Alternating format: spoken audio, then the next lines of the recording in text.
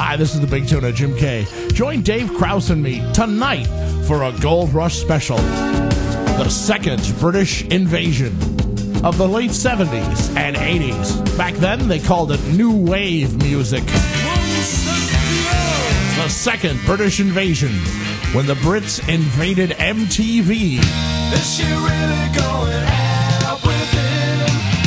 New Wave, punk rock from the UK, from Adam Ant to Ultravox. The Stone Roses, Tears for Fears, Gary Numan.